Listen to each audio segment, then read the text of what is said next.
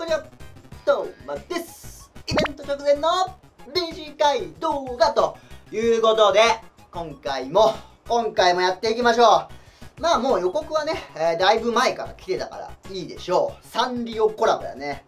でもう時点ね時点開いてるんやけど Z ランクはプリッチやね、えー、プリッチで Z ランクが1体といった感じです。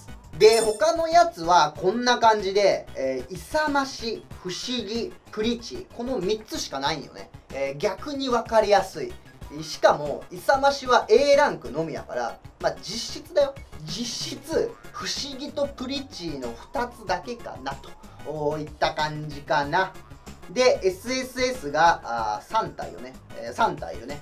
3体いるからあ次のサンリオコラボは Z ランク1体 SSS が3体といった感じなんで。まあ SSS3 体は結構多いからね、え、イベント限定のスコアタとかももしかしたらあるかなと。いった感じです。はい。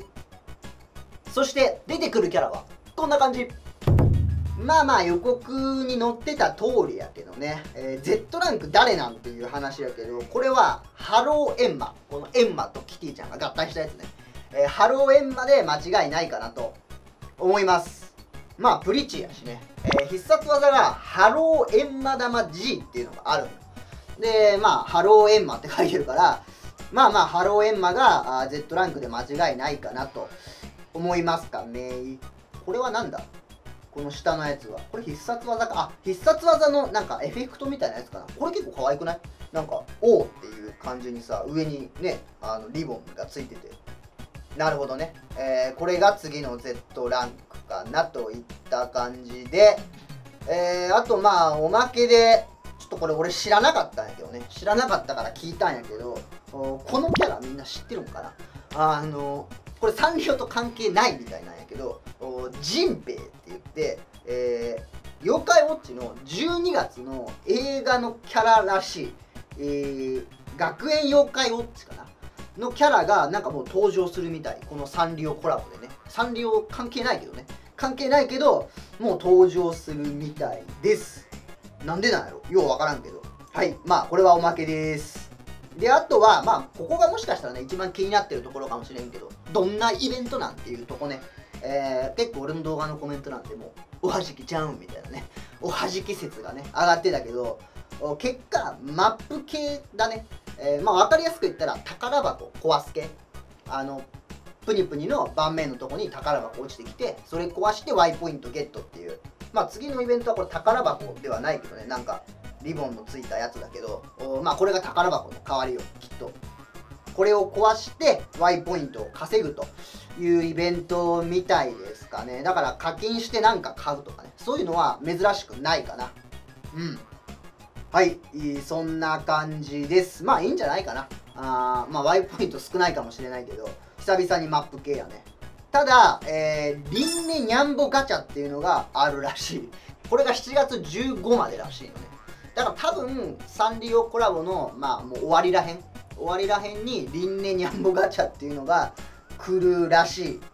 これ何なんやろね、まあ、リンネが入ってるニャンボガチャなんかなそれとも極妖怪が全部入ってるのか分からんけどこれが来るらしいです。はい、えー、まあまあ来たらねまた動画にしたいと思います。はいってことで次のイベントに関してはこんな感じかな。一つだけ最後に。一つだけ、えー、注意があります。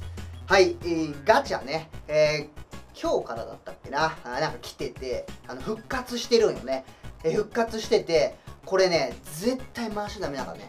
回すなよ。絶対、えー、もうイベント近いからね次のイベント。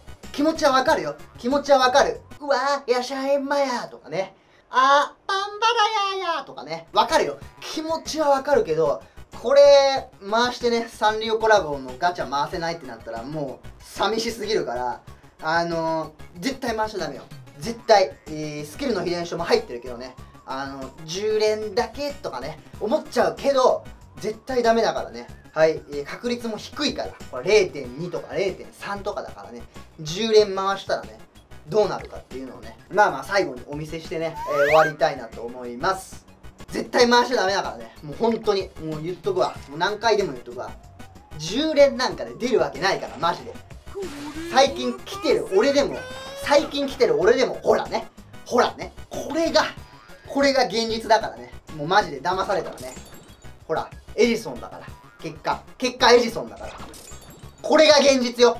ほら。ね。絶対回すなよ。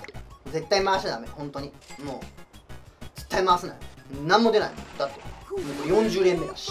何もスキルの秘伝書すら出ないし。あ。あ。いやでもほらもうもういらないやん。逆に。ほらプニツバキ姫なんて。もういらないしさ。ほら。モアイだし。お。復活意味なくね？復活意味なくない？え？プニツバキ2体出たんだ。